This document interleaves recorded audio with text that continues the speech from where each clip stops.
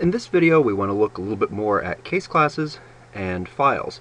So in previous uh, videos we have read data from files and we use case classes to organize that data. Uh, the example of a box score, while you know potentially interesting example, didn't really take advantage of the full power of the computer. Uh, one of the reasons why we do things on computers is because they have the ability to handle large amounts of data easily. For this example, we are going to look at a somewhat larger data file. Uh, this data file, which was pulled down from uh, the one of a uh, ornl.gov uh, government repository of temperature data for the United States. I use the uh, web interface and I pulled down data for the city of San Antonio, uh, just temperature data. And I did it for, you'll see this starts with uh, 1946 and it goes all the way to 2010 and this is daily weather data. Uh, going back up to the top, there's one line here that has a header. Uh, the second line tells us what the values are. This is the day of the month.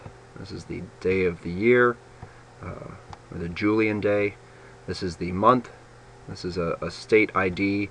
In this particular file, they're all the same because the only state is Texas.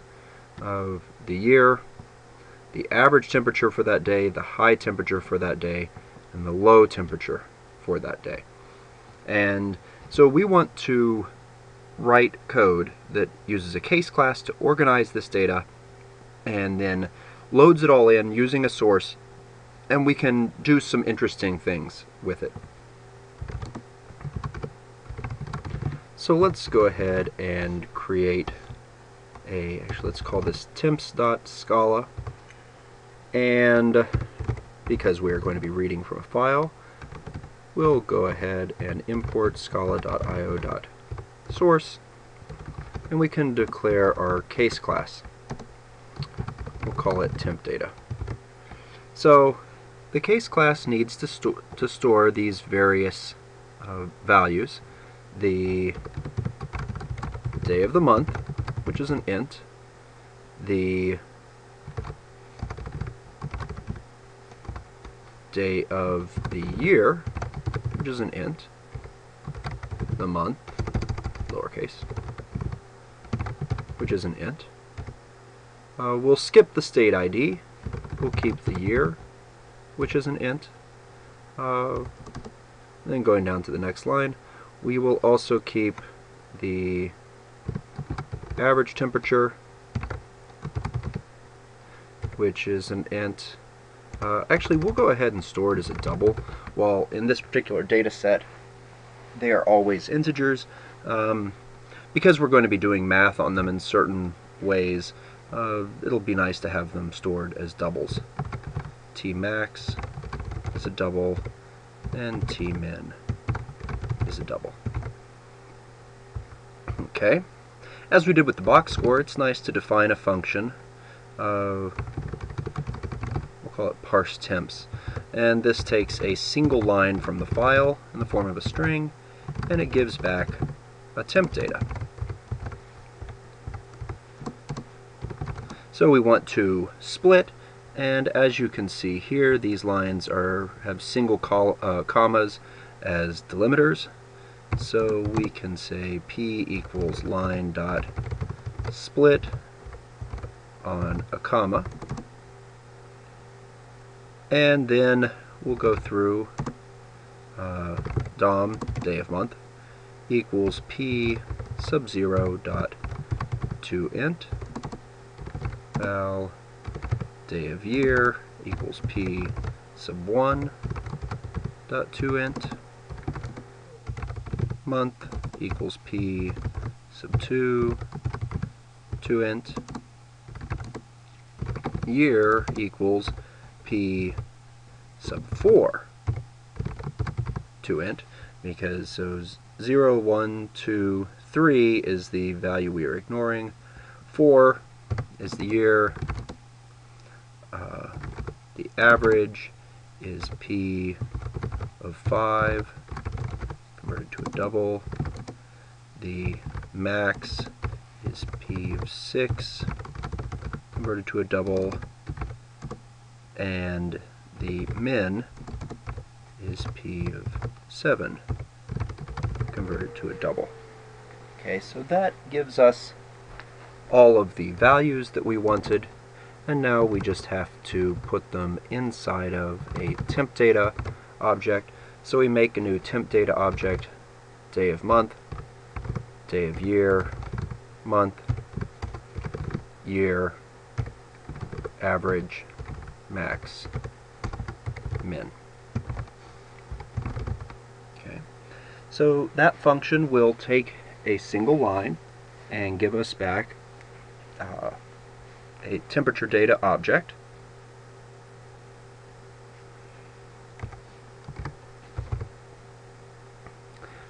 Now we want to open a source to read this file. Uh, this file, uh, it's worth using word count to look at just how long this file is.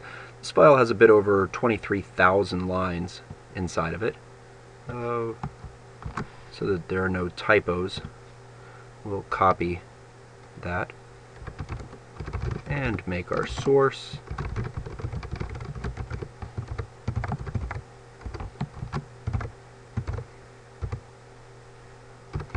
Make sure we close the source when we're done. Lines is source.get lines.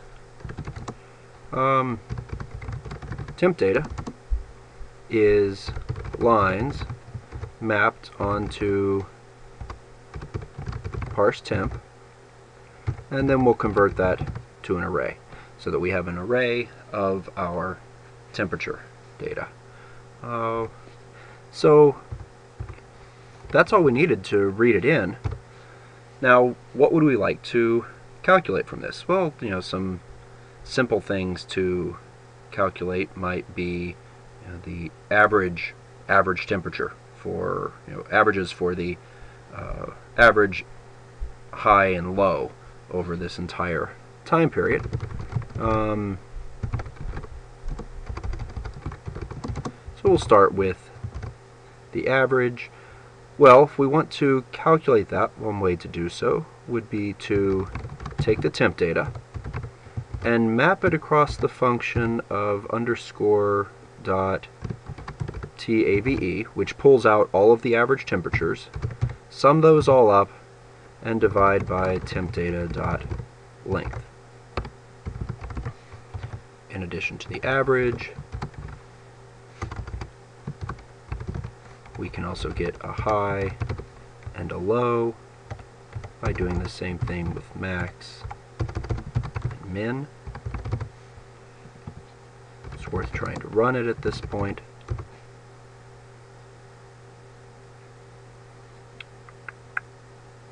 Parse up temp. There's a an S on this one, not on the other. This is actually only parsing a single temperature, so or a sim single day. So we'll make it singular. And this runs, and ah, here's an interesting problem. Uh, for input strings, source, blah, blah, blah. okay, so we didn't skip the top line. In fact, we need to skip the top two lines. We can do that very simply by calling lines dot next twice. So let's try that again. Oh, we have another exception. What could have caused this one? So we skipped the top two lines. This says that there was a number format exception for dot. Well, that's interesting. Where did that dot come from? Um, well, we could go look at the file again and search for, for various reasons, turns out we have to backslash our dot. And you see there's a data point that has dots on it. And then there's some more, not in 2008. So basically there's a few in 2006 and a few in 2008. Uh, when pulling down this file, it reported that there are dots for uh, data points that uh, they didn't where places where they didn't have data. So somehow we have to deal with that. And since it turns out those are across all the temperatures, we can just throw those out. So what we're going to do is we are going to filter only things where it does not contain the string of comma dot.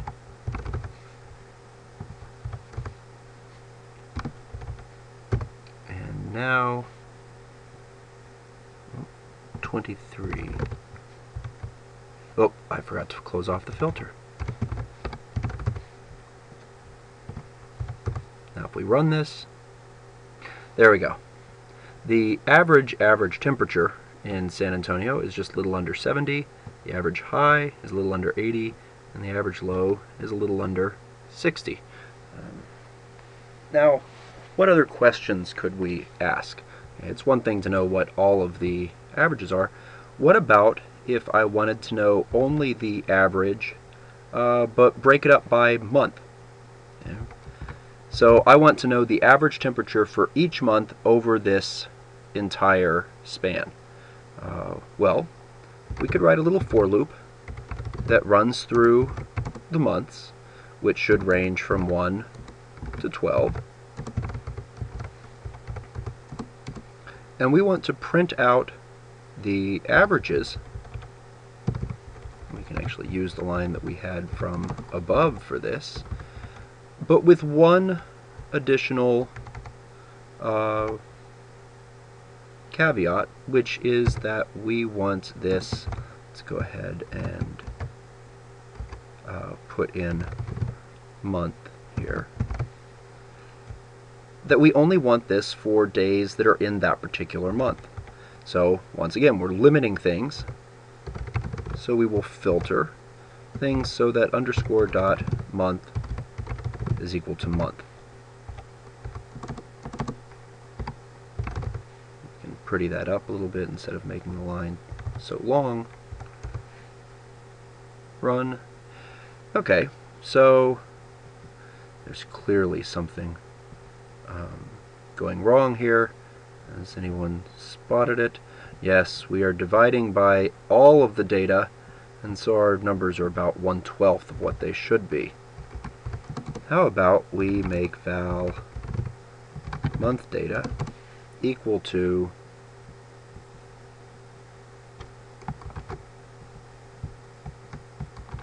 that.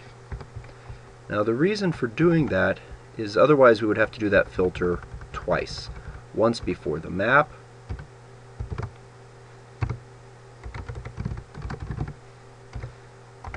and then another time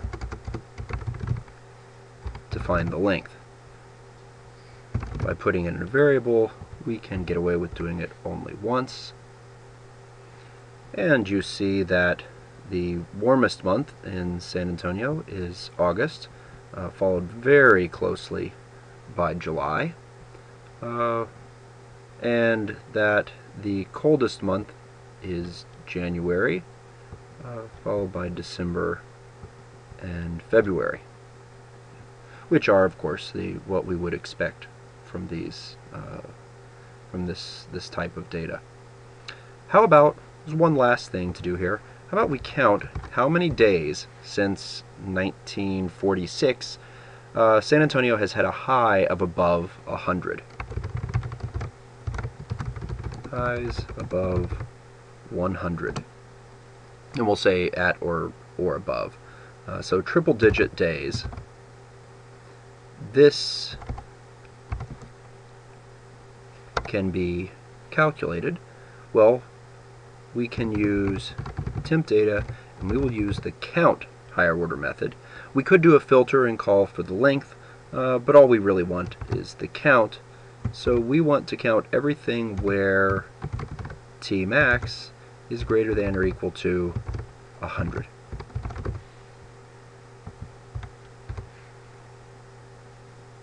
And we can see that since 1946 there have been 676 days that have been above 100 in San Antonio. So hopefully this gave you uh, some ideas for things that you can do with Scala and how we can use it to process large amounts of information. You can certainly go to this website and download temperature data for your own city and play with it. Uh, you can also look at values like precipitation and whatnot. So there's a lot of data there and you can play with it and Scala is a tool that you can use for doing interesting things. Uh, kind of run some little uh, experiments, discover things about what the weather is like uh, where you've lived.